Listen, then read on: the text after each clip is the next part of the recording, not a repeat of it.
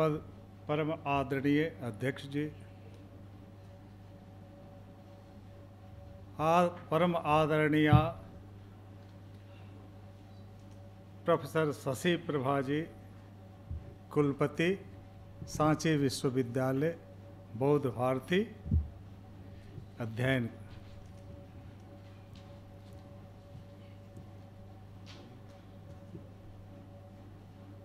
कुल सचिव पता नहीं, आए हैं कि नहीं, मुझे जानकारी नहीं है। कुल सचिव राजेश गुप्ता जी।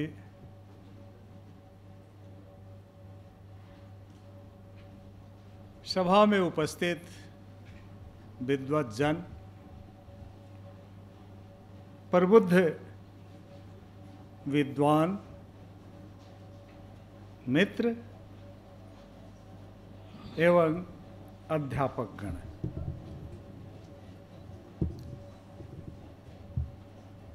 आज का जो विषय है बौद्ध दर्शन की लोकोपयोगिता।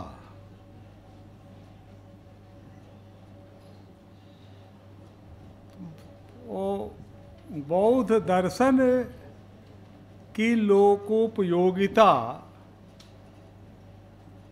आज ही नहीं है, आज विशेष कर है। प्रारंभ में भी थी, बुद्ध के जीवन काल में भी थी, और आज भी है, और रहेगी भी।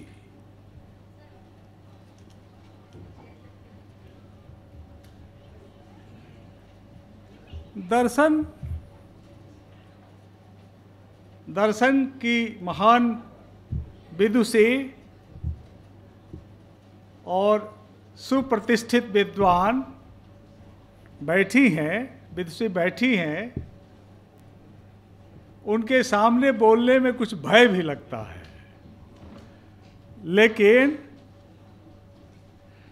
दर्शन का सामान्य अर्थ तो देखना होता है,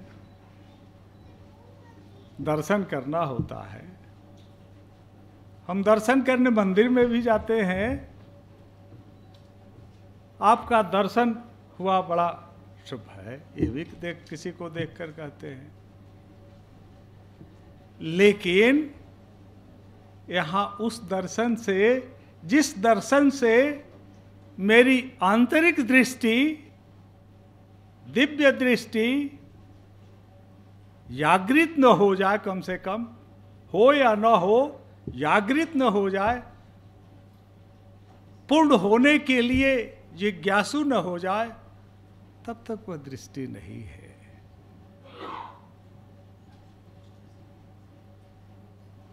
तो दर्शन का अर्थ एक दृष्टि है और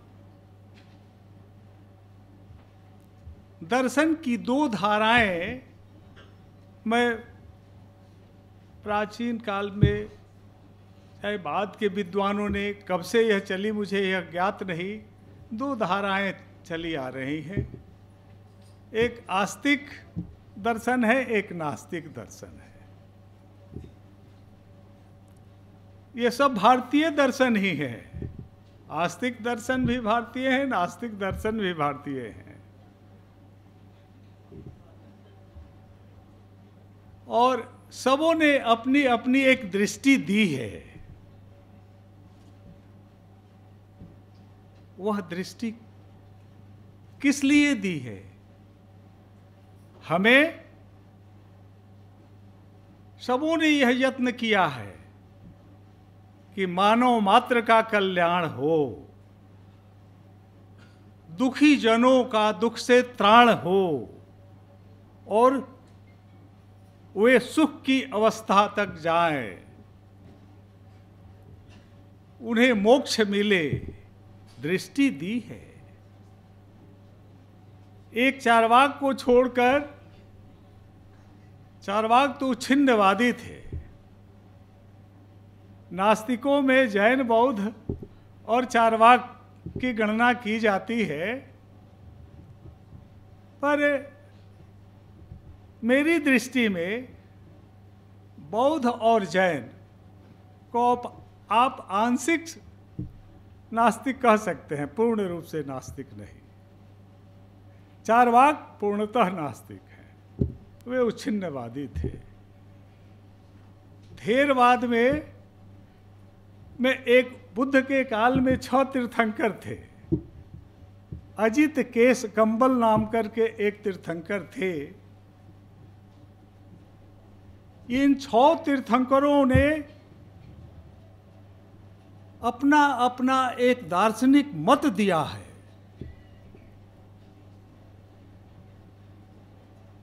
और सबों की केवल जीवनचर्या से ही नहीं, जो आजकल के लोगों के कुछ संत महात्माओं की जीवनचर्या है, वैसी ही चर्या थी। तो उन वे भी उच्छिन्नवादी थे, बुद्ध के काल में थे। तो मुझे कभी कभी लगता है कि ये चारवाक की परंपरा आज से नहीं, ये अति प्राचीन परंपरा है। चली आ रही है। दृष्टि से आत्म तत्व का बोध होता है।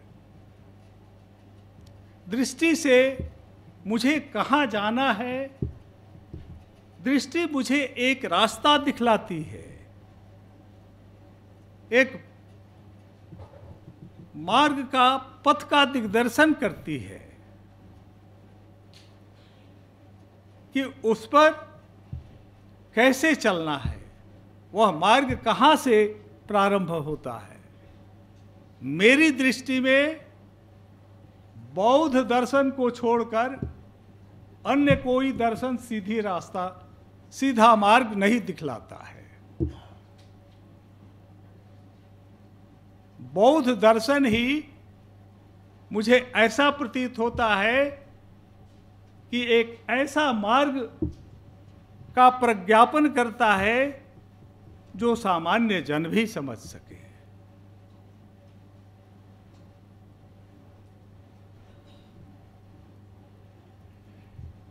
बुद्ध ने कालाम सूत्र में, जिसे हम केसी सूत्र भी कहते हैं स्पष्ट शब्दों में कहा है कि किसी भी बात को इसलिए स्वीकार नहीं कर लेनी चाहिए कि यह मेरे, यह बात मेरे कुल परंपरा में बहुत दिनों से आ रही है।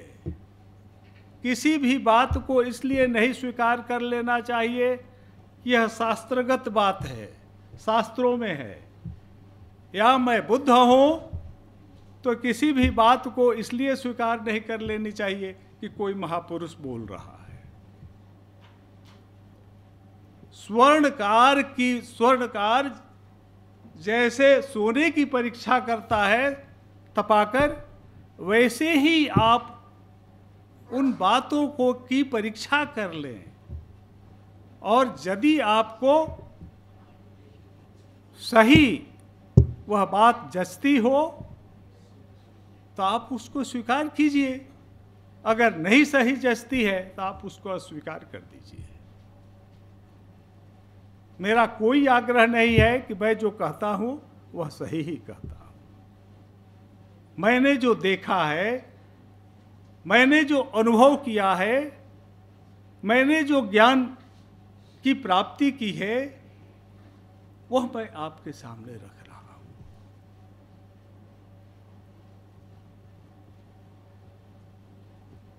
तो यह तो एक जो दर्शन है, मैं नहीं समझता हूँ कि भारतीय दर्शनों में और कोई कहा होगा इस तरह की बात, ऐलान करके कि मेरी बात तुम इस किसी भी बात को इसलिए स्वीकार नहीं करनी चाहिए कि कोई महापुरुष बोल रहा है। या?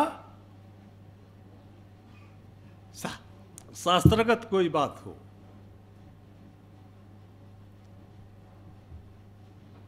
मैं नहीं जानता हूँ कि और किसी दर्शन के स्थापकों ने, प्रतिपादकों ने यह बात कही है कि नहीं कही। मुझे ज्ञात यह नहीं पर बुद्ध की बात तो मुझे मालूम है। अब वो भी कही है कि शास्त्र की बात है। तो आप क्यों मानते हैं शास्त्र की बात? बुद्ध ने 45 वर्षों तक धर्म देशना की है। इसके बाद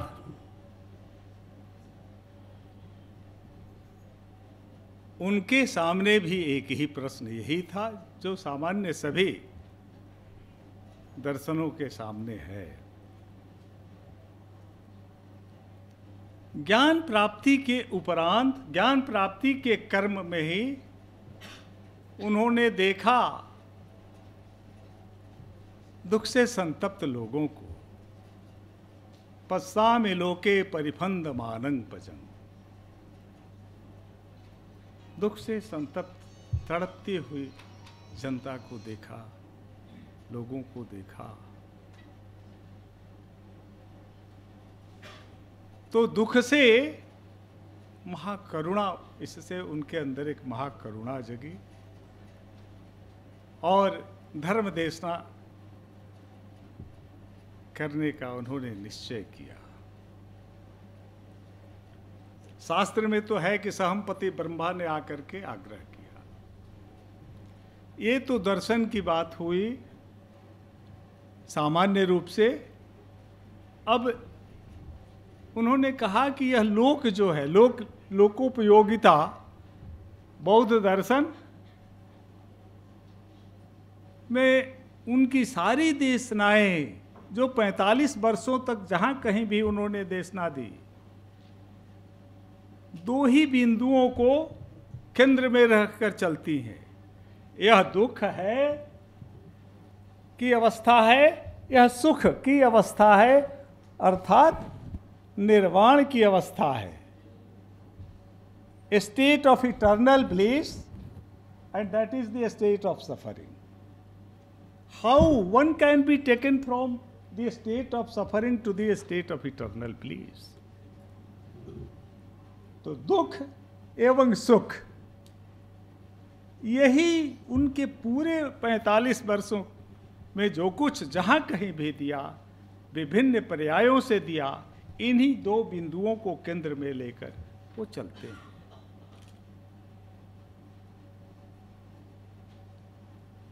तो उनके सामने ये दो बिंदु रहते थे। अब लोकोपयोगिता की बात जो है तो उन्होंने कहा कि लोक क्या है? तो लुच्चती पलुज्जती थी लोको यह जो लुंजन परिवर्तनशीलता है, जो हम देख रहे हैं, यही तो है। इसको संसार भी कहते हैं। तो संसार में उन्होंने कहा कि यह संसार जिसका संसरण होता है, जहाँ संसरण होता है तो कहा कि खंधानंच पटिपाटी धातु आयतनानं च। अब्बू छिन्नंग बतमाना संसारोती पबुच्चती थी अर्थात जहाँ पंच स्कंध आयतन, धातु, वो का पुनर्भवन होता है और वही नष्ट होता है। अर्थात जहाँ हम जन्म लेते हैं, वहीं हम मरते भी, मृत्यु को भी प्राप्त करते हैं। तो जहाँ पर ये पंच स्कंद, आयतन पाँच स्कंद, दो, देखिए, यहाँ पर बुद्ध ने, मानव कौन है? आखिर दुख से जो संतप्त व्यक्ति है, वह व्यक्ति कौन है? और दुखी क्यों है? तो उन्होंने यह देखा कि जो व्यक्ति है, वह कुछ नहीं है। बुद्ध बड़े सफल अध्यापक थे।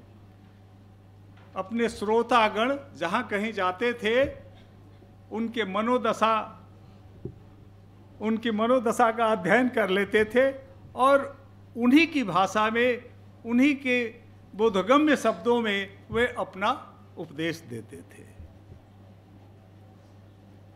तो उन्होंने कहा कि ये मानव कौन है?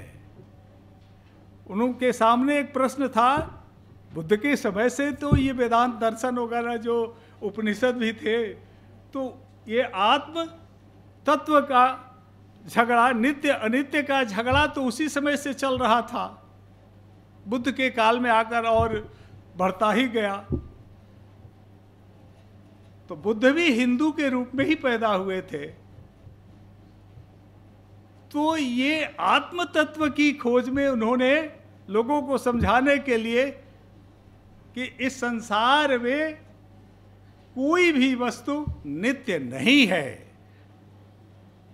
अस्थाई नहीं है और आत्मा नामक उन्होंने, देखिए, लोग कहते हैं कि बुद्ध अनात्मवादी थे उन्होंने कहीं भी अपने, अपनी देशना में यह नहीं कहा कहा है कि आत्मा नामक कोई चीज़ नहीं है। या है, ये भी नहीं कहा है। बच्छ गोत ब्राह्मण ने एक बार पूछा बुद्ध से, कि अच्छा आप ये बताएँ कि आत्मा है या नहीं है? आनंद तो उनके साथ रहते थे। तो है पर भी चुप लगा गए। नहीं है इस पर भी चुप लगा गए। तो आनंद ने उनसे पूछा कि आपने उस ब्राह्मण को जवाब क्यों नहीं दिया? तो बुद्ध का कहना था कि जय, यदि मैं कह देता हूँ कि आत्मा नहीं है तो जो आत्मवादी हैं, उनको बहुत कष्ट होता है। और जो मैं कह देता हूँ कि आत्मा है तो जो कर्मनिष्ठ हैं, उनके मन में द्वंद्व चलने लगता। वो कर्म ही नहीं करते कि जब आत्मा आत्मा की शुद्धि में ही लग जाते अपना कर्म नहीं करते। इसलिए मैंने नहीं कुछ कहा। कि हम्म, आनंद संतुष्ट नहीं हुए कि मैं आपकी बात से सहमत नहीं तो बुद्ध ने कहा व्यक्ति की अवधारणा मनुष्य की अवधारणा के क्रम में कि वह मनुष्य क्या है? तो पहले कहा कि नाम रूप का संघात है। तो नाम माइंड एंड मेंटल फैक्टर्स चित्त एंड चैतसिक टेक्निकल शब्द है। और रूप, ये दोनों चित्त एंड चैतसिक नाम हो गए। और रूप, जो 28 बौद्ध दर्शन में 121 प्रकार के चित्त हैं और बावन से लेकर चौसठ प्रकार के चैतसिक हैं। मेंटल फैक्टर्स हैं और 121 प्रकार के चित्त हैं। तो ये परंपरा चली। उन्होंने कहा कि पंच, फिर इसको देखा कि सामान्य जन नाम रूप सामान्य जन समझ नहीं सकते हैं। तो इसका विस्तार उन्होंने पंच स्कंधों के रूप में कहा, कर दिया। रूप स्कंध वेदना स्कंध संज्ञा स्कंद संस्कार स्कंद और विज्ञान स्कंध कर दिया। तो रूप स्कंध में 28 प्रकार स्कंध मैंने ग्रुप, समूह है तो ये 28 प्रकार के रूप होते हैं।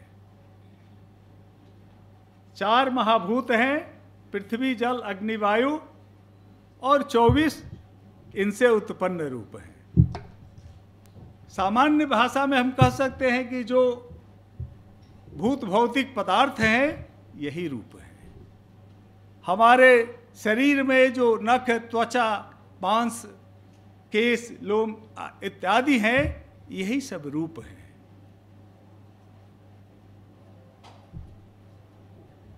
तो इस प्रकार चित्त, चैतसिक और रूप,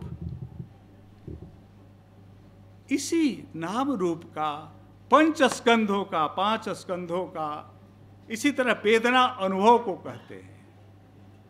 अनुभवन लखड़ा वेदना। ये भी तीन, चार, तीन प्रकार की होती है। सुखा वेदना, दुखा वेदना, पाँच प्रकार की, सोमनस्य वेदना, दोमनस्य वेदना, उपेक्षा वेदना। मैं बहुत गहराई में नहीं जाऊँगा, नहीं तो बहुत सी बातें छूट जाएँगी। तो इस तरह से पंच स्कंधों का समूह मात्र है। फिर कहा कि नहीं, अब यहाँ भी लोग स्कंध नहीं समझेंगे। तो अब इसको और बाइफर्केट बढ़ा करके कह दिया कि बारह आयतनों का समूह है। चक्षु आयतन, रूप आयतन, श्रोत आयतन घान आयतन, जिह्वा आयतन, काय आयतन, मन आयतन, शब्द आयतन, गंध आयतन। तो ऐसे करके उन्होंने बारह कर दिया। तो दो से बारह, फिर बारह से उन्होंने अठारह कर दिया, अठारह धातुओं में। इसका विस्तार कर दिया। माने व्यक्ति के स्वरूप को, आंतरिक स्वरूप को और बाह्य स्वरूप को दर्शाने के लिए, लोगों को यह दिखाने के लिए कि कोई व्यक्ति के अंदर कोई नित्य चीज़ नहीं है, नित्य पदार्थ नहीं है, जो जिसके लिए हमारे अंदर, जिसके कारण अहंकार, ममकार की भावना जागृत होती है और वही दुख का कारण बनती है। हम कहते हैं कि मेरा शरीर है, मेरी पत्नी है, मेरा लड़का है, मेरा पोता है। यह नित्य नहीं है, न हम नित्य है, न कुछ भी नित्य है। ये नित्य परिवर्तनशील है, परिवर्तनशीलता की एक धारा प्रवाह चल रही है, उसमें जब तक वह धारा ले नहीं जा रही है तब तक है और जब ले जाएगी तो ले जा, चले जाएँगे। तो ये नित्य प्रवाह है और कह दिया एक अनंत पर्याय सूत्र है ये विनय पिटक के महाभक्त के प्रारंभ में ही है।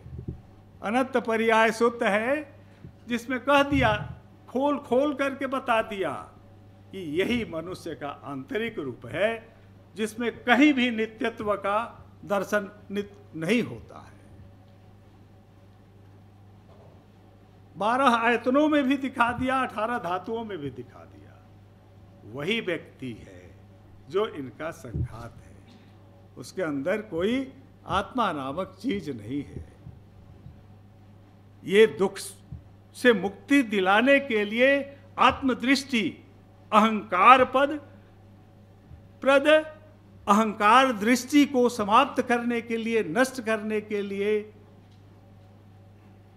ऐसा उन्होंने, ऐसा उन्हें करना पड़ा। क्योंकि दुख का कारण उन्होंने देखा कि अटैचमेंट होता है, राग होता है तो यह क्यों बढ़ता है? हम समझते हैं कि हम नित्य है। नाती पोता परनाती छरनाती सब देख लें। एक मंजिल से दो मंजिल, दस मंजिल बना लें। एक गाड़ी से दस गाड़ी हो जाए। तो ये तृष्णा का जाल है। तो बौद्ध यही लोक है। उपयोगिता ये जो उपयोगिता है, ये तो देखिए, इसकी उपयोगिता किसको कहते हैं? बचपन में स्कूल में हम लोगों को सोशल साइंस में सिविक्स में एक, एक चैप्टर था उपयोगिता। उसमें यह था कि वह वस्तु जिसमें मनुष्य की आवश्यकताओं को पूर्ति करने की क्षमता हो। The commodity which has a capacity to satisfy the human needs to fulfil the human needs तो वही उपयोगिता है। उसी को उपयोगिता कहते हैं। तो ये लोकोपयोगिता जो होती है बौद्ध दर्शन की, है। यह एक दृष्टि प्रदान करती है। मनुष्य के अंदर खोल खल करके उसके शरीर को दर्शाकर दुख के प्रहाण हेतु और दुख का कारण को को दर्शाते हुए वह चलती है। जिससे कि लोग यहाँ भी सुखी रहें इध नंदती पेच नंदती, कतपुयो उभयथ नंदती। पुण्य करते हुए यहाँ भी आनंद पूर्वक रहें और वहाँ भी रहें। तो इस तरह से यही लोकोपयोगिता है उनकी। वस्तुतः तो बौद्ध दर्शन का प्रारंभ कब हुआ? वैशाख पूर्णिमा के दिन ही जब बुद्ध ने अपनी जिस रात्रि को उनको ज्ञान की प्राप्ति हुई थी, उसी रात्रि के चतुर्थयाम में बुद्ध ने प्रतित्य समुत्पाद का अनुलोम और प्रतिलोम सीधे और उल्टा मनन किया था। कथं भवचक्रं पवत्यति कथं निरुझती थी भवचक्र ये जो है, कैसे प्रवाहित होता है, कैसे प्रवर्तित होता है, और कैसे निरुद्ध होता है, इसके कारणों को उन्होंने रात्रि के, उस उसी पूर्णिमा की रात्रि के चतुर्थयाम में उन्होंने इसका मनन किया और उन्होंने देखा। जिस सिद्धांत को हम कहते हैं प्रतित्य समुत्पाद कार्य कारणवाद theory of causation law of dependent origination यही कार्य कारण बात है। कार्य कारण बात तो स्पष्ट है। कोई भी कार्य हम बिना कारण का नहीं करते हैं। आप यहाँ आए हैं, आप विद्या प्रेमी हैं। आपके अंदर सुनने की एक अभिलाषा है। तो आप यह सोचे होंगे कि आज एक काशी के पंडित आ रहे हैं हालाँकि मैं वैसा विद्वान नहीं हूँ। जैसी प्रशंसा यहाँ के एक प्राध्यापक ने की, वैसी प्रशंसा मेरी वैसा व्यक्ति मैं नहीं हूँ। सामान्य हूँ पढ़ता लिखता हूँ, अपना शोध कार्य करता हूँ, करवाता हूँ। विद्यार्थियों को शिक्षा देता हूँ कि भाई सही ढंग से अपना अध्ययन, अध्यापन करो। सही विद्या सिखाता हूँ। मेरे कुल परंपरा में अध्ययन, अध्यापन का काल आज नहीं। मेरे दादाजी बाबा जी के पहले से चला था और वो भी ट्रेडिशनल संस्कृत की ही पढ़ाई लिखाई चली करीब 1890 के कब में मैं सुनता हूँ, पिताजी कहते थे कि हमारे पिताजी कहते थे, बाबा कहते थे कि वे उस समय ज्योतिषाचार्य थे। और बाबा को कहते थे, अपने पिताजी को कि वो पटना यूनिवर्सिटी में थे, संस्कृत के प्रोफेसर, व्याकरणाचार्य थे, क्वींस कॉलेज वाराणसी से, उस समय था। तो मैं उसी परंपरा का हूँ और वो जो अध्ययन अध्यापन की प्रणाली है, वो आदिकाल से मेरे कुल में प्रवाहित हो रही है। उनकी माँ सरस्वती की बड़ी कृपा है। तो दर्शन का प्रारंभ उसी वैशाख पूर्णिमा की रात्रि से ही हुआ। और वह प्रतीत्य समुत्पाद, उस प्रतीत्य समुत्पाद में बारह अंग हैं। कौन कौन से? तो कहता है कि अविद्या पचया संखारा। अविद्या है, संस्कार है, विज्ञान है। अविद्या पचया संखारा, संखार पचया वियाणन। व्याण पचया नाम रूपन रूपन यही नाम रूप जो हमने कहा अभी। विज्ञान से नाम रूप उत्पन्न। नाम रूप पचया सलायतन। उसके बाद हमारे आयतन जो है छ आयतन, चक्षु, सोत घरान जीवा मन ये होता है। तो फस पच्चया वेदना उसके बाद क्या होता है? अविद्या पच्चा संखारा, संखार पच्चया व्याण व्याण पच्चया नाम रूपंग नाम रूप पच्चया सलायतन। सलायतन पचया फस स्पर्श होता है आयतनों से। स्पर्श पचया वेदना, जब किसी चीज़ से स्पर्श होगा, चाहे चक्षु से स्पर्श हो, चाहे शरीर से स्पर्श हो तो वेदना होगी। वेदना पचया तन्हा, तब हमारे अंदर एक तृष्णा की भावना जगेगी। और वह तृष्णा की भावना क्रमशः तन्हा पचया उपादानंग, और उसी से उपादान बलवती तृष्णा हो जाएगी, बलवती इच्छा हो जाएगी। आ तन्हा पचया उपादान तन्हा पचया उपादा, उपादान पचया भाव तो भाव परंपरा शुरू हो जाएगी, जन्म लेना, मरना ये सब शुरू हो जाएगा, व्याधि, रोग सब। तो भव पच्या जाति जरा मरण। तो ये अविद्या मूल कारण है। अब आप पूछ सकते हैं कि अविद्या आती कहाँ से? आज मैं जन्म लिया तो अविद्या आई कहाँ से? नहीं। आप अविद्या लेकर ही पैदा हुए हैं। कैसे? वह केवल संपर्क में आने से बीज रूप में पड़ी है, संपर्क में आने से वो बीज वपन होने लगता है, जमने लगता है, उगने लगता है। तो वो जो अविद्या है, हमारे अंदर एक अनुसय धर्म है। हमारे बौद्ध दर्शन में अनुसय कहते हैं लेटेंट फैक्टर्स वो कैसे आते हैं भाई? तो वो क्या है? हम जो कार्य करते हैं अच्छे बुरे किसी भी, कोई भी कार्य करते हैं, सबका फल होता है। ऐसा न सोचे कि फल नहीं होता है। तो सब कर्म हम अपनी, अपने समय पर फल देता ही है। उसी फल को हम अविद्यात्व ज्ञान है तो उसी फल को हम क्या कहते हैं? उसी फल को संस्कार कहते हैं। तो जो हमारे इस जीवन के कर्म फल हैं, उसका से जो संस्कार बना, वही संस्कार लेकर के हम जन्म लेंगे। और जब तक वह संस्कार रहेगा, देखिए यह दर्शन की गुण तत्व जो है, जब तक वह संस्कार रहेगा, मुझे मुक्ति मो, नहीं मिलेगी। मोक्ष नहीं मिलेगा, निर्वाण नहीं मिलेगा। संस्कार रहेगा, अर्थात फल रहेगा तब तक तो उसको, उसका अच्छे बुरे फल का वो भोग भोगना ही पड़ेगा। तो यही संस्कार जो है ना, वही लेकर और उसी से अनुसय अनुसय होता है।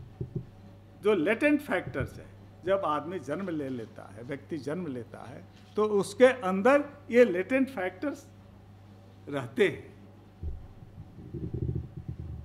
अब अविद्या ज्ञान को कहते हैं।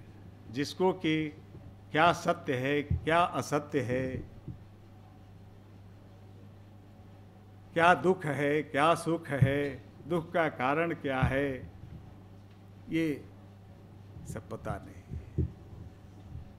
तो संस्कार वही है, विज्ञान, यहाँ प्रतिसंधि विज्ञान है, प्रतिसंधि विज्ञान से। है अविद्या हो गई संस्कार का जन्म हो गया। कार्य कारण बाद में, अब प्रतिसंधि विज्ञान जब जन्म होगा उस फल के स्वरूप तक कुल, स्थान माता पिता सब उसके तय हैं, उसके कर्म फल के अनुसार किस कुल में पैदा होगा, कहाँ पैदा होगा, किस प्रकार का कुल होगा, ये सब उसमें बना रहता है, निर्धारित रहता है। तो माँ के गर्भ में जो प्रवेश होता है, जिस विज्ञान का, उसे प्रतिसंधि विज्ञान वह जोड़ता है। प्रतिसंधि विज्ञान। और फिर उसका क्रमशः उसमें प्रौढ़ता आती है और नौ मास, नौवे मास अपना तो इसी के अंदर वो आँख, नाक, कान सारे आयतन जो है ना वगैरह जो नाम रूप हो गया। तो ये विज्ञान पचया संखार पचया व्याण व्याण पचया नाम रूपम तो जब ये बॉडी नाम रूप माइंड एंड मेंटल फैक्टर्स और मैटर ये सब का फॉर्मेशन हो गया तो ये आयतन भी हो गए। नाम रूप पचया सलायतन, आयतन भी हो गए, चक्षु आयतन, सोत आयतन घाम आयतन जिब आयतन। उसके बाद जब आयतन हो गए तो स्पर्श होने लगा। चक्षु से स्पर्श किसी रूप का होता है। शब्द से स्पर्श हमारे कान का होता है, गंध से नाक का होता है, जिह्वा से रस का होता है, स्पर्श से बॉडी का होता है और धर्म से मन का होता तो इस तरह से सारी इंद्रियों का स्पर्श शुरू हो जाता है। और फिर वेदना होने लगती है, फिर तृष्णा जगती है, फिर उपादान बलवती इच्छा जो तृष्णा है, हमारे यहाँ बुद्धिज्म में 108 प्रकार की बतलाई गई है। 108 प्रकार की तृष्णा होती है। तो इस तरह से उसका भी एक प्रवाह चलता है। और धीरे धीरे वो बलवती होती जाती है। आज क्या देखते हैं? यह मेटेरियलिस्टिक युग है, भौतिकवादी व्यवस्था है। उनके उस भौतिकवादी व्यवस्था में हमारी आमदनी तो सीमित है, आवश्यकताएँ अनंत हो गई हैं। मार्केट में विभिन्न प्रकार की सुख सुविधाओं की चीज़ें उपलब्ध हो गई हैं। हम खरीद नहीं सकते। तो पारिवारिक प्रेशर में आपको धन का उपार्जन करना पड़ता है। परिवार के अन्य लोग नहीं जानते हैं कि आप कहाँ से लाते हैं धन। उन्हें धन चाहिए, वे सुख सुविधा चाहिए। पहले ब्लैक एंड व्हाइट टीवी पर हम लोग देखते थे, अब रंगीन टीवी पर देखते हैं। अब देखते हैं कि दीवार की टीवी आ गई। चलिए, कहाँ रहेंगे? खरीदिए तो क्या करेंगे? वही उपादान, तृष्णा जाल है, बलवती इच्छा है। जिसके पास साधन है, वो तो खरीद लेगा, जिसके पास नहीं है वह क्या करेगा?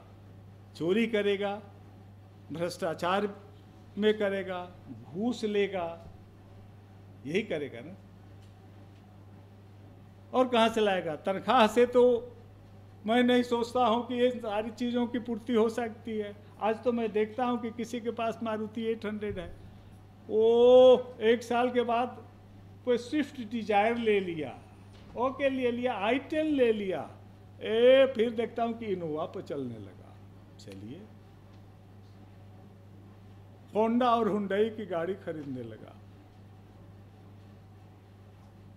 अब पहले के ज़माने में मैं देखता हूँ, प्रोफेसर सिद्धेश्वर भट्टाचार्य को हमने देखा था, मैडम। भेलूपुरा थाना के पास रहते थे, साइकिल से आते थे संस्कृत विभाग। जो संस्कृत के विद्वान ऑक्सफोर्ड में प्रोफेसर रह चुके थे। साइकिल से कम से कम दो तीन किलोमीटर पड़ेगा काशी हिंदू विश्वविद्यालय जहाँ रहते थे वहाँ से। साइकिल से आते थे। साइकिल में पंप सुलेशन रबर, ये सब रहते थे। रेंज, पंचर हज़ार कहाँ बनाएँगे? स्वयं खोलेंगे बनाएँगे। तो इस तरह से विद्वानों की सोच होती है। होनी चाहिए और होती भी है कुछ विद्वानों की। सबकी नहीं, कुछ की होती। सब विद्वान तो वर्तमान इस भौतिकवादी व्यवस्था में अधिकांश विद्वान चल रहे हैं। तो इस तरह से व्यक्ति का चलता है, ये बलवती इच्छा होती है। तो ऐसे इच्छाओं का प्रवाह होता है। फिर देखिए, बुद्ध ने क्या किया? बुद्ध ने कहा कि ये प्रतीत समुत्पाद तो लोगों के समझ के बाहर है। ये कैसे समझ में बात आएगी? तो उन्होंने कहा कि भाई, जब संबोधन करने लगे तो उन्होंने कहा कि देखो भाई, ओ भिक्खवे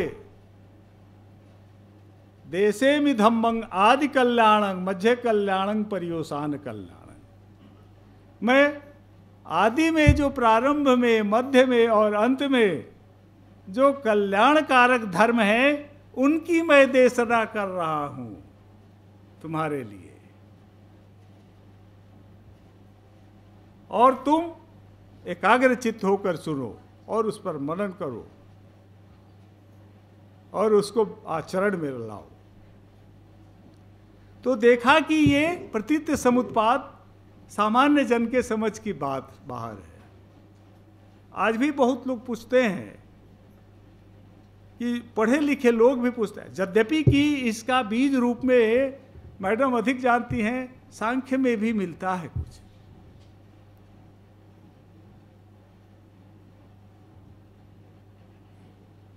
तो हमारे यहाँ है, सब चीज़ें हैं।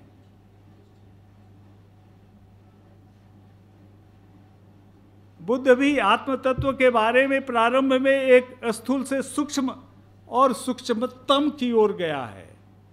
और बुद्ध ने तो नकार ही दिया। नित्यत्व को नकारा है। आत्म तत्व को नहीं, नित्यत्व को नकारा है। तो उसी प्रतीत समुत्पाद का उन्होंने विस्तार किया तो चार आर सत्य के रूप में किया। पंचवर्गीय भिक्षु जब वो तपस्या में उर्वेला में निरंजना नदी के तट पर थे, उन्होंने अनुभव किया। अपनी तपस्या के क्रम में साधना करके अन्न छोड़कर, जल छोड़कर, कठोर से कठोर तपस्या करके उन्होंने देख लिया। गिर जाते थे। उनके बत्तीस महापुरुष के जो लक्षण शरीर पर थे, वे सारे लक्षण लुप्त हो गए थे। चेहरे काले पड़ने लगे थे रास्ते में वो बेहोश हो जाते थे।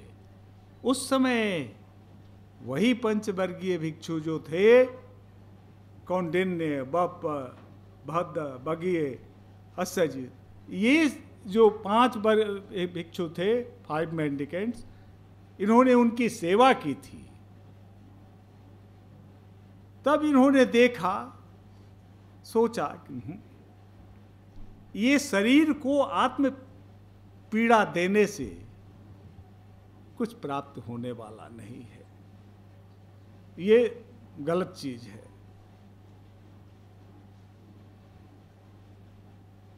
इसलिए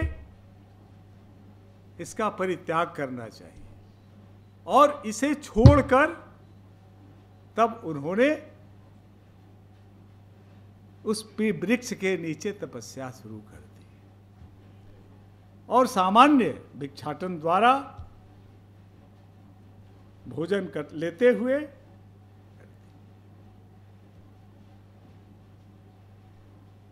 और उसी साधना से, जो सामान्य साधना थी, उसी साधना से उन्हें ज्ञान लाभ हुआ।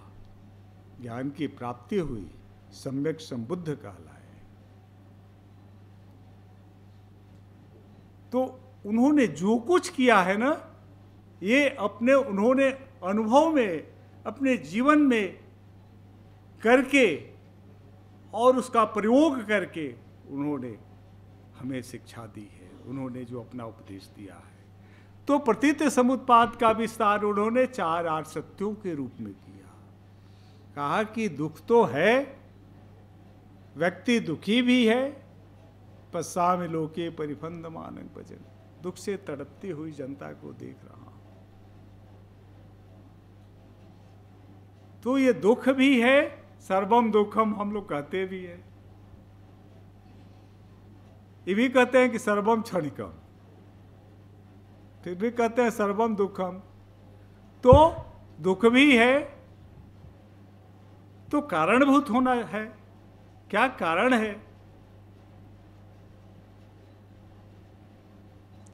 अब यदि कारण है तो उसका निरोध भी संभव है। और तब निरोध यदि संभव है तो इसका उपाय भी तो होगा ही, कुछ साधन भी होगा। तो उन्होंने एक मार्ग का प्रज्ञापन कर दिया। कहा कि, मध्यम मार्ग,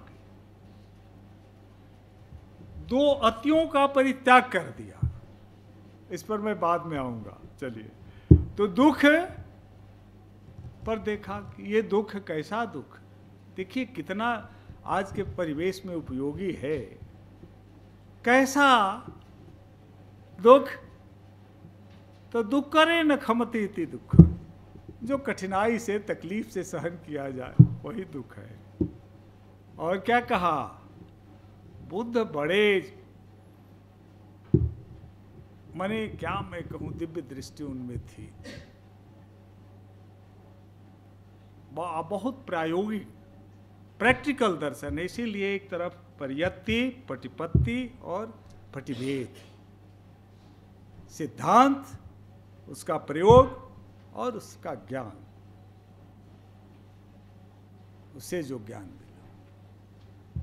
ऐसा दर्शन है। तो यह दुख जो है, कह दिया कि जाति भी दुखा जरा भी दुखा व्याधि भी दुखा मरणंग भी दुख संपयज्ञ वियोगो दुखो अपयस संपयोगो दुखो यंग पीछंग तंग न लभती पी दुखंग। अब देखिए, अरे जन्म लेना तो दुख ही है, जब जन्म लेंगे तभी सारे दुख आएँगे। बुढ़ापा होगी, बीमारी होगी सब दुखाएँगे। लेकिन कह दिया कि यंग पिछंग तंग न लभती पी दुखंग। कितना व्यवहारिक है हमका। उन्होंने कहा कि संपयगत से वियोगो दुखो। देखते हैं मेरा लड़का अगर बाहर जाने लगा विदेश तो बड़ी दुखी होते हैं। होते हैं और अपयस संपयोगो दुखो। जो अप्रिय शत्रु कोई मिलता है तो दुखी होते हैं। होते ही यही भी दुख है। ये कहाँ से कहाँ मिल गया भाई? दिन भर का समय मेरा खराब हो गया। कहते हैं तो इस प्रकार और इस भौतिकवादी व्यवस्था में कहा, यंग कितना उपयोगी है कि यंग पिछंग तंग न लभती भी दुखंग। जो चाहते हैं उसकी प्राप्ति नहीं हो, यह तो सबसे बड़ा दुख है आज की व्यवस्था में। तो दुख है। अंत में कह दिया कि संखित न पंच उपादान खंदा। यह शरीर ही दुख में है। दुख है? तो कहा कि इसका कारण क्या है? इसका कारण एक ही है। वही जो तृष्णा चलती है, बलवती होते हुए, वही तृष्णा जब बलवती इच्छा, बलवती तृष्णा हो जाती है तो बलवती इच्छा हो जाती है तो वो अपना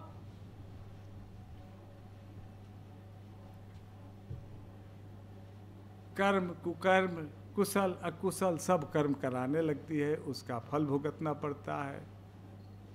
तो इस तरह से यह क्रम चलता है। तो तृष्णा कारण है। देखिए प्रतीत समुत्पाद को यहाँ प्रतीत समुत्पाद जो कहा अनुलोम से तो ये तृष्णा यदि कारण है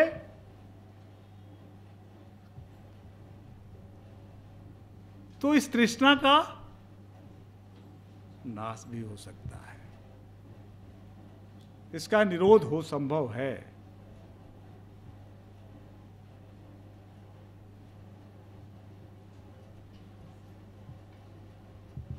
कैसे?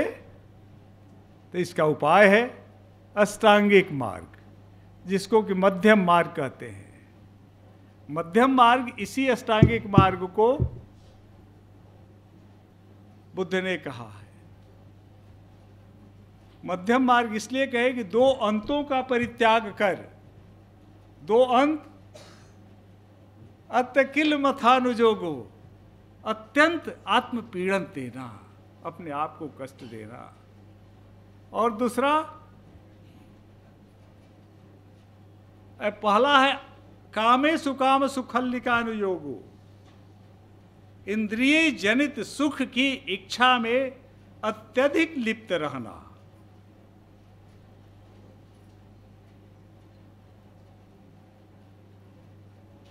तो ये पहला और आत्मपीड़न दूसरा। इन दोनों का परित्याग करके बीच का जो मार्ग है, वही माध्यम, मध्यम मार्ग है। और उसमें आठ जो कड़ियाँ हैं, इसलिए आर्य अष्टांगिक मार्ग भी कहते हैं। सम्मा दिठे सम्यक दृष्टि। सम्मा दिठे सम्मा संकप्पो, सम्मा वाचा सम्मा कमंतो। सम्मा आजीव, सम्मा व्यायामो, सम्मा सती, सम्मा समाधि। सम्यक दृष्टि और सम्यक संकल्प, ये क्या है? सम्यक दृष्टि और सम्यक संकल्प, सम्यक दृष्टि जो है, ऐसे यदि हम दार्शनिक भाषा में कहें तो फ़र्स्ट ये दोनों प्रज्ञा के द्योतक हैं। लेकिन यहाँ दृष्टि के दो, द्योतक हैं। कैसे? दृष्टि के इस अर्थ में द्योतक है कि इनसे यह पता चलता है कि क्या करणीय है, क्या अकरणीय है, क्या गलत है, क्या सही है। और सम्यक संकल्प,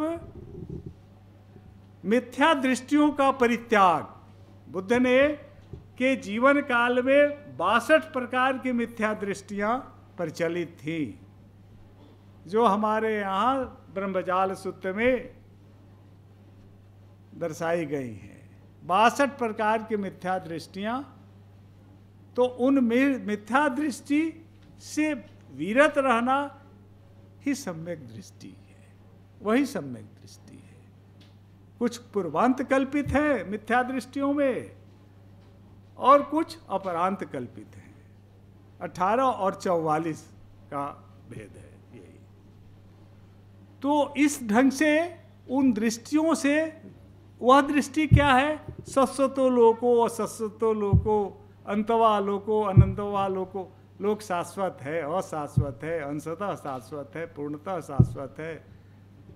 अंतवान जिसका अंत नहीं है, होती तथागतो परंग वरणा, न होती तथागतो परंग वरणा।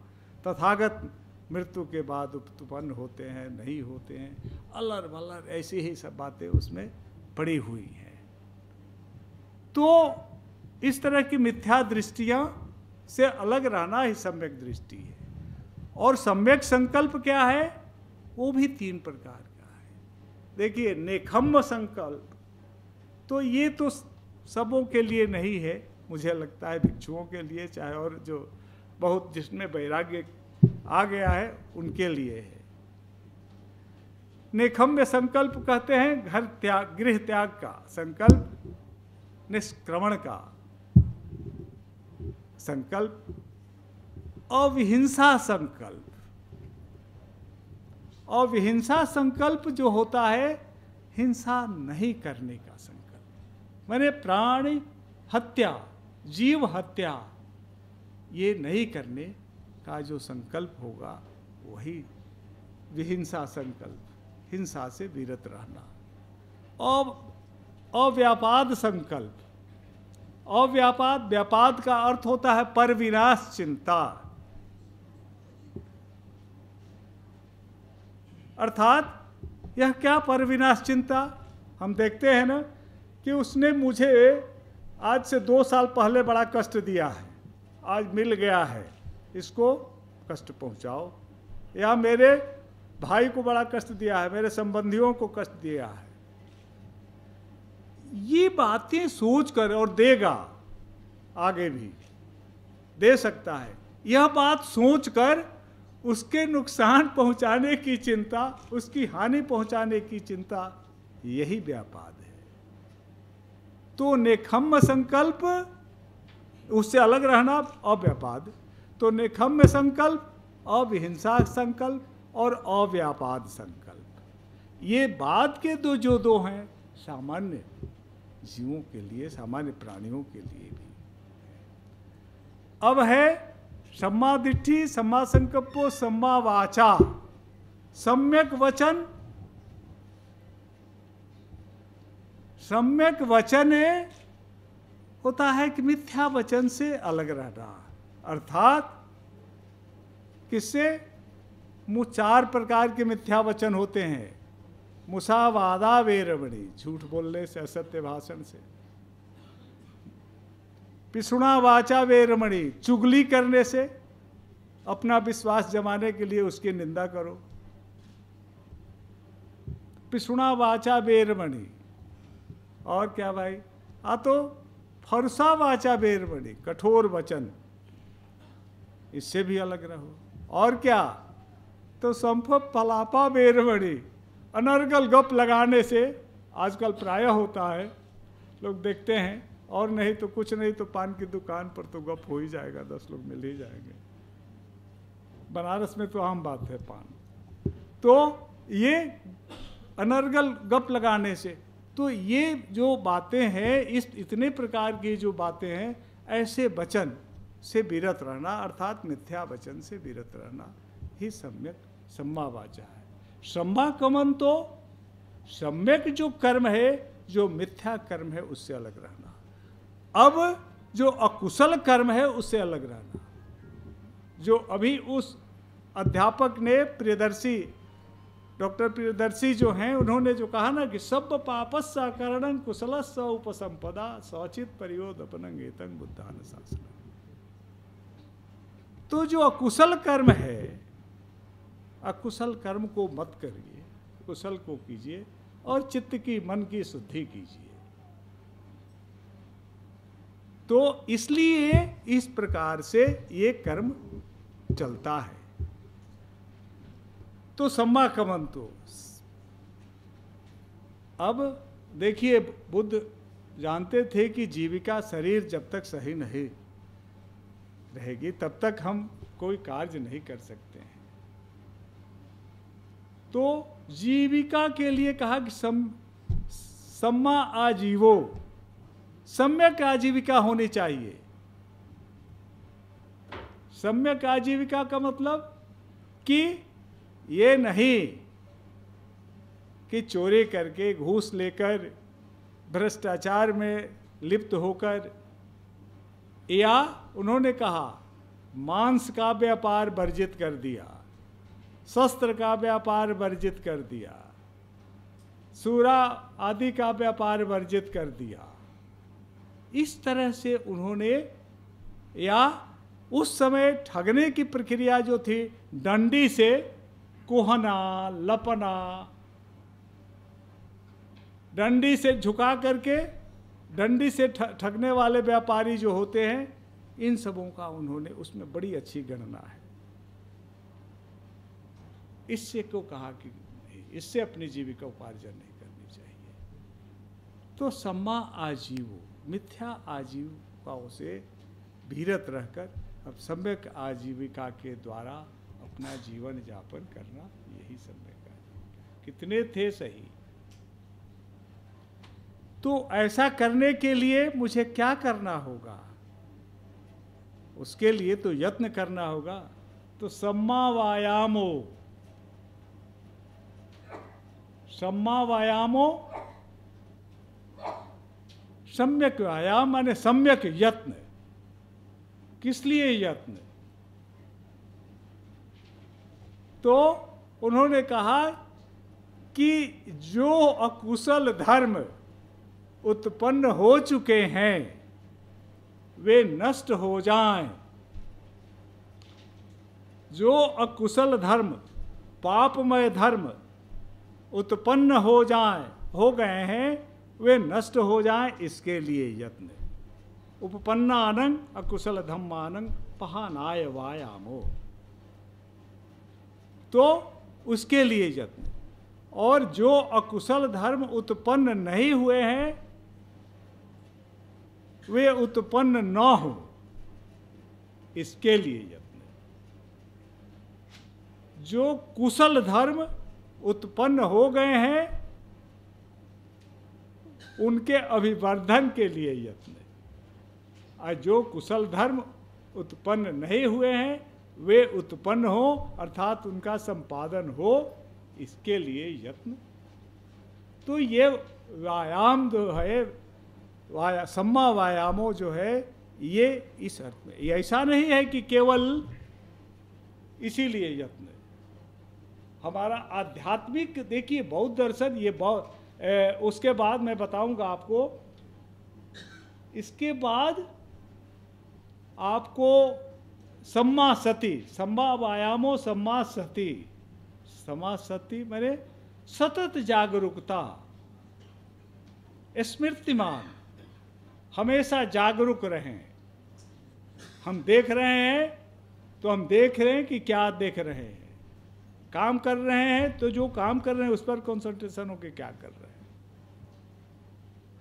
ये नहीं कि लिख रहे हैं, दिमाग वहाँ है क्लास में बैठे हैं। मैं प्राय विद्यार्थियों से कहता हूँ, जब पूछ लेता हूँ बीच में से, नहीं बता दे कहाँ थे? शरीर से यहाँ थे, दिमाग से कहीं और थे?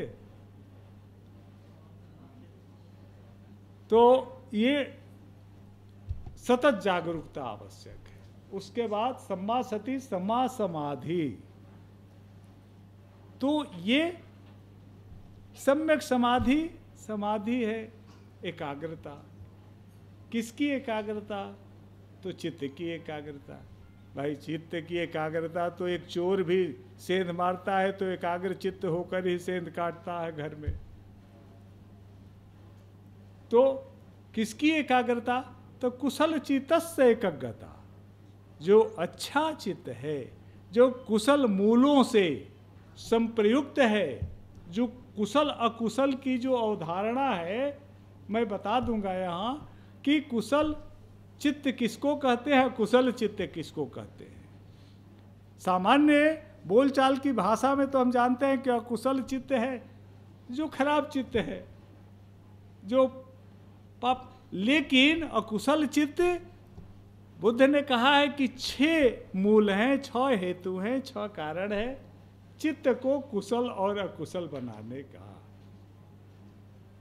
और ये कुशल और अकुशल बनाने के जो चित्त के कारण है छह कारण है, तीन अकुशल मूल हैं।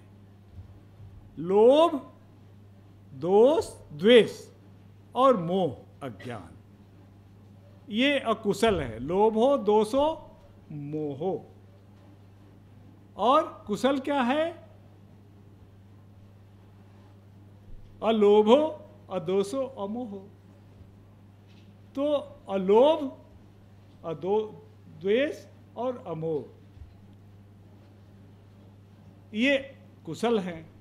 तो जब चित्त कुशल, अकुशल मूलों से संप्रयुक्त होगा अर्थात लोभ से प्रेरित हो, द्वेष से प्रेरित हो, अज्ञानता मोह सबके वो काम जब करते हैं, द्वेष भी काम करता है तो मोह जुड़ा रहता है।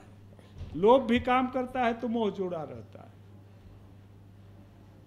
तो ये जब चित्त से संपृक्त रहते हैं तो उन्हें अकुशल चित्त कहते हैं। और जब तीन कुशल मूल जो हैं, अलोभ, अदोष और अमोह, ये तीन जुड़े रहते हैं तो इनको हम कुशल मूल कहते हैं। इसीलिए बुद्ध ने कहा है कि तीनी कुशल मूल मूलानी, अलोभो, अदोषो, अमोहो, तंग संपयुक्तो, वेदना खंधो संया खंधो, संखार खंधो, वियाण खंधो तंग समुत्थानं काय कम्मंग, बची कम्मंग मनोकम्मंग ईमे धम्मा कुशला तो जो तीन हमारे कुशल मूल है, अलोभ का अर्थ परित्याग, अद्वेष, मित्रता, मैत्री भाव, अमोह, ज्ञान। तो ये जो तीन कुशल मूल जुड़े रहेंगे तो हमारा जो कार्य होगा, वह कार्य अच्छा कार्य होगा। तो चित्त कुशल होगा। और कुशल चित्त से जो कार्य हम कायिक वाचिक और मानसिक कार्य करेंगे, तन समुत्थान तो वो भी कुशल होंगे। चाहे कायिक कर्म करें वाचिक कर्म करें या मनोकर्म करें। तो ऐसे कुशल चित्त की एकाग्रता ही समाधि है। अंत के ये तीन, सम्मा वायामो सम्मा सती, सम्मा समाधि, ये तीन समाधि है के द्योतक है। और सम्मा वाचा, सम्मा काम, कमंतो, सम्मा आजीवो, ये तीन सील के और सम्मा दिट्ठी और सम्मा संकल्प ये प्रज्ञा के द्योतक है। तो सील समाधि प्रज्ञा मग्गा नंग अठंगिकों से ठो, मार्गों में अष्टांगिक मार्ग श्रेष्ठ है, बुद्ध ने कहा है। तो इस प्रकार सील समाधि और प्रज्ञा बुद्ध की शिक्षाएँ जो हैं, तीन श्रेणियों में विभाजित हैं। सील क्या है? सील, बुद्ध ने जो ये विभाजन किया है,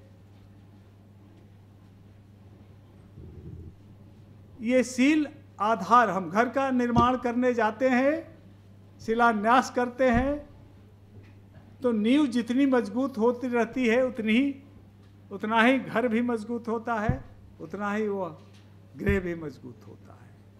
और नींव अगर कमज़ोर होती है तो घर भी कमज़ोर होगा। तो सील जो है, वह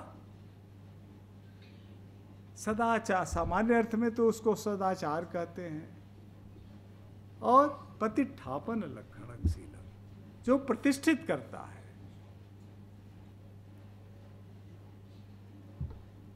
शीतल अठेर कहा है, बुद्ध ने कहा है कि शीतल अठेन। वह राग अग्नि को, दोष अग्नि को और मोह अग्नि को शांत करता है, उसका समन करता है सील हमारे अंदर जो राग अग्नि है दोष अग्नि है और मोह अग्नि है। ये तीनों अग्नि यहाँ है। और तीनों की ज्वाला धधकती है। काम करती है। तो सील जो है, ये तीनों अग्नियों का समन करता है।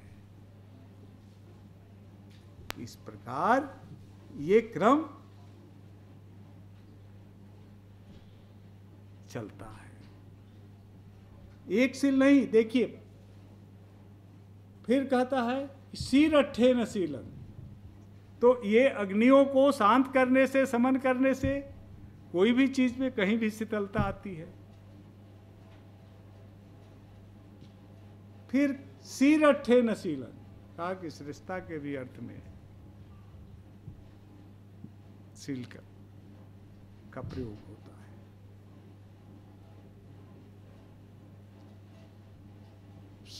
समाधि और देखिए, सील एक प्रकार की नहीं है, बहुत प्रकार की है। पंचशील, अष्टशील, दसशील, आजीविका पारिशुद्धिशील पातिमोक संबरशील तो हम कुछ नहीं ले। गृहस्थ जीवन में दो ही सील जो है, एक पंचशील पाणातिपाता बेरमणि। जीव हिंसा से विरत रहे तो इससे हमारे अंदर क्या होगी जागृत? मैत्री भावना जागृत होगी। जब जीव हत्या की हत्या से हम विरत रहेंगे तो हमारे अंदर मैत्री भावना जागृत होगी। वह कैसी मातृ मैत्री भावना? भेद रहित, राष्ट्र, कुल, जात प्रदेश, ये भेद रहित, ऊंच नीच, ये भेद रहित जो मैत्री भावना है, अपना पराया की भेद छोड़ करके, वही मैत्री। उससे मैत्री भावना, प्राणियों के प्रति, जीवों के प्रति मैत्री भावना जागृत होती है। फाड़ाती पाता वेरमणि से, अदिन्ना दाना वेरमणि, चोरी से वीरत रहना। अर्थात किसी दूसरे की वस्तु को बिना दिए हुए ले लेना, चुरा लेना तो उसको अदिन्ना दान, उससे विरत रहना, अर्थात चोरी से विरत रहना। तीसरे, कामे सुमिच्छाचार आबेरमणि व्यभिचार से रहना पर स्त्री गमन से विरत रहना।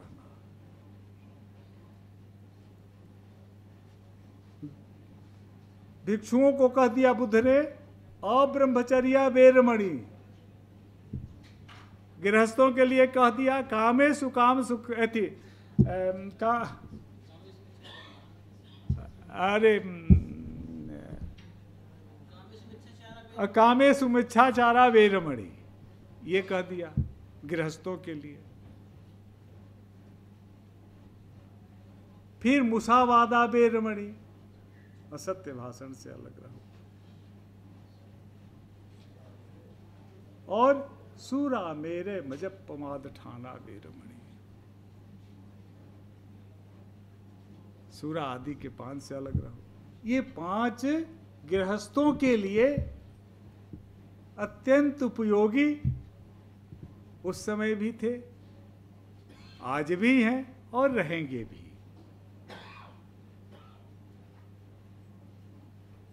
तो इस प्रकार फिर अष्टशील उपासकों के लिए, दसशील भिक्षुओं के लिए ऐसे करके उन्होंने और बहुत बढ़ाया है। सबसे खासियत बात है कि बुद्ध ने कहीं किसी जाति विशेष, व्यक्ति विशेष के लिए कोई उपदेश नहीं दिया है। समाज को दिशा के ब्याज से छह भागों में ज़रूर विभाजित करके उन्होंने उसके अधिकार कर्तव्यों को दर्शाया है कि एक गृहस्थ का अधिकार कर्तव्य क्या है। मैं उसके बारे में भी थोड़ी बताऊँगा आगे। तो इस तरह से उन्होंने पंचशील, अष्टशील, दसशील। सबसे आजीविका पारिशुद्धिशील जो है। बुद्ध जानते, देखिए, सामाजिक, आर्थिक, धार्मिक और दार्शनिक, आध्यात्मिक इष्ट इस आर्य अष्टांगिक मार्ग, मध्यम मार्ग से तीनों चीज़ें निश्चित होती हैं। दार्शनिक भी आध्यात्मिक विकास moral development of moral values inculcation of moral values ये सब जो चीज़ें हैं ना, है। आजीविका पारिशुद्धिशील, ये आर्थिक है। अर्थ के बहुत से सूत्र हैं संयुक्त निकाय के, जो इकोनॉमिक्स से संबंधित है। धन कमाना चाहिए। चालीस बरस की अवस्था तक सही तरीके से चोरी करके नहीं, घूस लेकर नहीं, सही तरीके से खूब मेहनत के द्वारा धन कमाना चाहिए। और उस धन का उपयोग कैसे करना चाहिए? चार भागों में अपनी कुल आमदनी को, आय को, सैलरी को बांट दो। एक भाग, सिगालोवाद सूत्र में यह है। एक भाग, तुम अपना और परिवार के भरण पोषण पर खर्च करो। दूसरा भाग, भविष्य में इमरजेंसी के लिए रख दो। तीसरा भाग, जो उद्योग करते हो, अध्यापक हैं तो किताब, कापी इधर उधर लाइब्रेरी, अटेंड करना, वो करना, अपने व्यवसाय में इन्वेस्ट करो। चौथा भाग, दान करो। ऐसा नहीं कि किसी बहुत धनी आदमी को ब्राह्मण को दान कर दे। दान करो। तो इससे हमारे अंदर दान का बड़ा महत्व है, बुद्धिज्म में भी। तो दान और परित्याग की भावना जागृत होती है।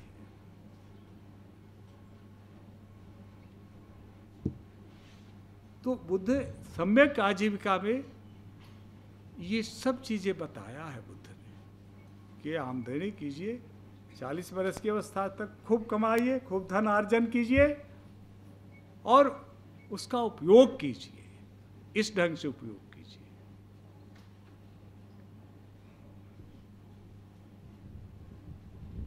तो इस प्रकार ये सील की जो मैं चर्चा कर रहा था आजीविका पारिशुद्धि सील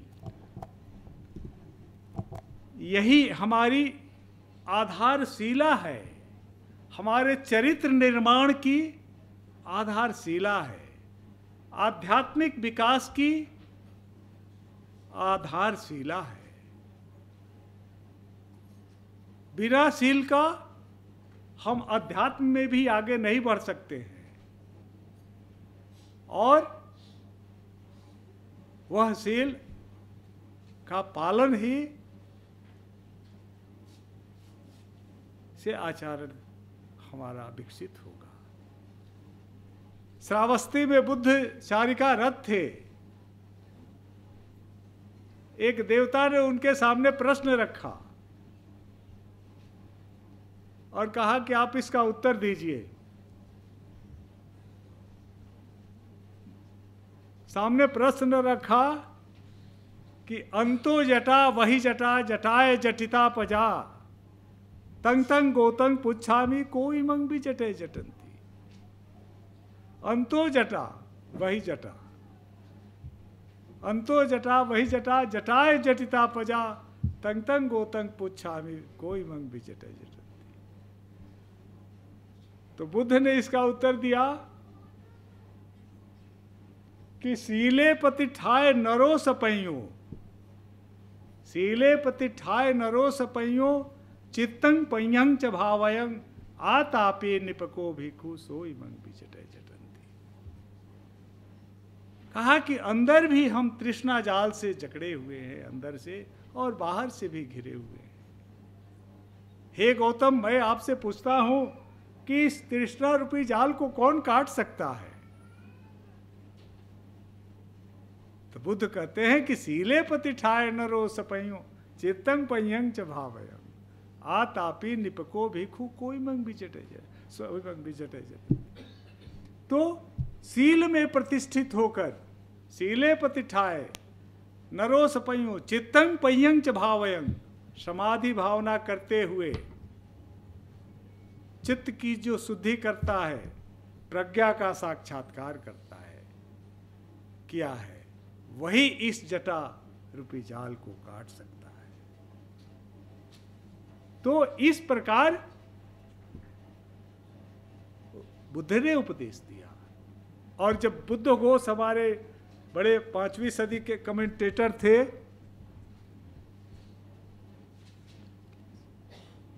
अच्छा समय बीत गया।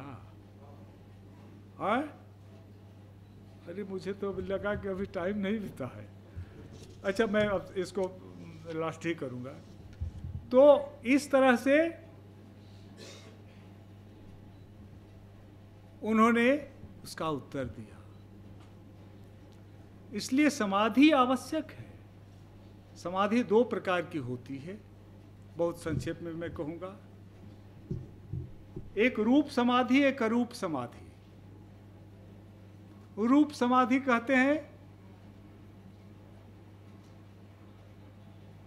जो हमारे सामने हम किसी रूप आलंबन पर, रूप विषय पर, चाहे वह त्रिभुजाकार हो, चतुर्भुजाकार हो, बुद्ध की मूर्ति हो, हनुमान की मूर्ति हो, शिव की मूर्ति हो,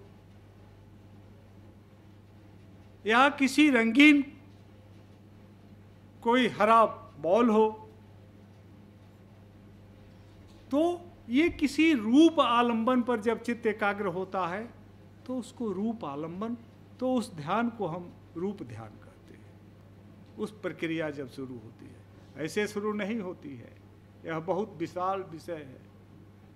उसके जब शुरू करता है साधक तो उसके अंदर एक भावना जागृत होती है, और वह काम छंद व्यापाद थीन विद उदचक कुछ ये काम निवरण जो धर्म है, जो उसके ध्यान की एकाग्रता के बाधक तत्व हैं वो उसको डिस्टर्ब करने लगते हैं।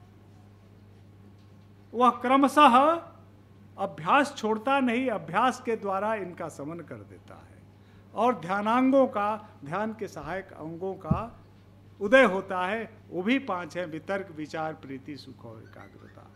तो वे इस तरह से रूप ध्यान, ये पंद्रह होते हैं और रूप ध्यान करते हुए जिस जो चित्त रूप ध्यान, रूप रूप आलंबन पर एकाग्र होता है, उसको रूपावचर चित्त कहते हैं। और फिर साधक देखता है जैसे जैसे पंचम अवस्था में रूप ध्यान के पहुँच गया, कहा कि इससे निर्वाण संभव नहीं है। वह अब अब जिसके सामने रूप नहीं है, अरूप आलंबन पर ध्यान एकाग्र करता है। और अरूप आलंबन में क्या है? आकाशा और विज्ञान। आकाश का मतलब क्या? ये आकाश ऊपर स्काई नहीं, स्पेस।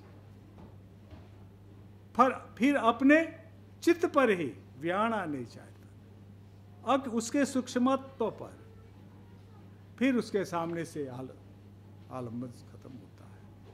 तो इस तरह से वह उसका अभ्यास करते हुए लास्ट में उसके भी अरूप ध्यान के लास्ट स्टेज में जाता है तो उसका वह देखता है कि इससे भी संभव है हमारे अंदर, उसी पे देखता है कि हमारे अंदर कितने अभी अकुशल तत्व विद्यमान है और उनका प्रहाण करना चाहता है। प्रहाण हेतु वह लोकोत्तर भूमि में प्रवेश करता है। और सोतापति मार्ग, अनागा सकदागामी मार्ग, अनागामी मार्ग और अरहत मार्ग से उन संयोजनों का, क्लेशों का अकुशल धर्मों का प्रहाण करते हुए निर्वाण को का लाभ करता है। वह निर्वाण का लाभ करता है, वह कहाँ जाता है? निर्वाण कोई जगह नहीं।